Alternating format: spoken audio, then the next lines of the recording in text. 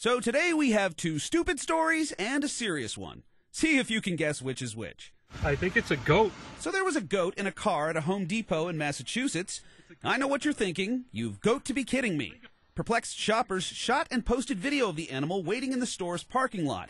Eyewitnesses say it turned on the hazard lights, drank a soda, and befouled the front seat. Hope the owner picked up some air freshener.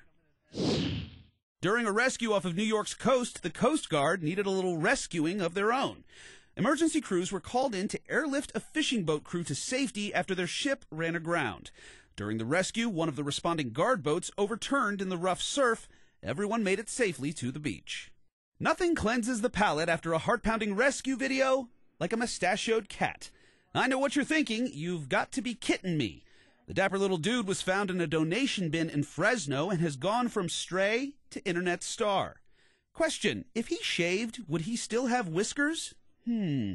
Mind blown. For Take a Look at This, I'm Jeremy Roth.